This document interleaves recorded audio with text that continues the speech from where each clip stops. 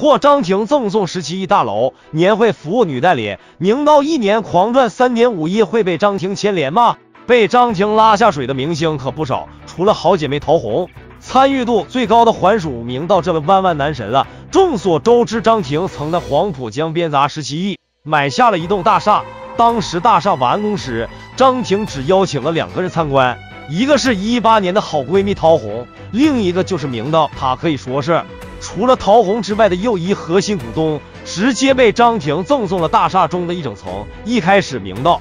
其实已经有了自己的品牌，后来加入张庭旗下，运营模式就变得越来越古怪。二零二零年时，明道就眼馋张庭赚大钱，于是就频频献殷勤，甚至在张庭老公林瑞阳面前都对张庭举止亲密。而张庭也是看中了明道的颜值吃香，为了更好的吸引住旗下的代理，他也是经常召开年会洗脑，并且借着明道的男神效应，让代理们都为之疯狂。这架势就像是在宠幸粉丝一样，什么牵手靠肩已是常事，实在不像正常的公司运营模式。加上之前林瑞阳还一度让员工下跪接周，明道不可能感受不到公司的异样。毕竟这种疯狂的洗脑模式实在太诡异。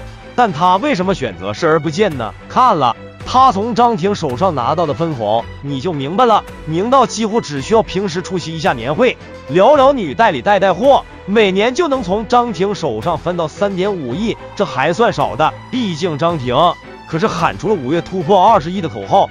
不过张庭翻车也是他万万没有想到的。